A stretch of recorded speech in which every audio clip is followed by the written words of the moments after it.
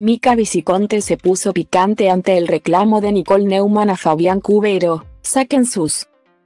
Cuando todo parecía bastante calmo en el horizonte de Nicole Neumann y Fabián Cubero. Un nuevo conflicto apareció cuando intrusos contaron que Nikita había pedido una medida cautelar para impedir que el exfutbolista saliera del país con sus hijas desde fines de febrero. El motivo, un reclamo millonario, más de 900 mil pesos que Poroto adeudaría en concepto de cuota alimentaria entre agosto y noviembre de 2022. Ante la situación, desde el ciclo de América fueron a buscar a Mika Viciconte quien no dudó en defender a su pareja y destacar sus atributos como padre del pequeño Luca.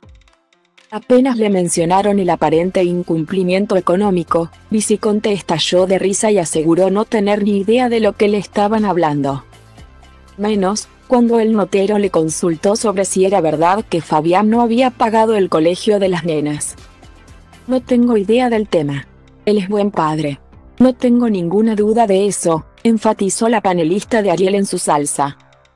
Y siguió, lo veo con Luca y te puedo hablar por mí, por la experiencia que yo tengo, con Luca es espectacular. Mika dejó en claro que no está dispuesta a opinar ni a meterse en este drama. No tengo ni ganas ni me interesa entrar en eso. Dijo, y cuando le consultaron sobre si Cubero les había hecho faltar algo alguna vez a Indiana.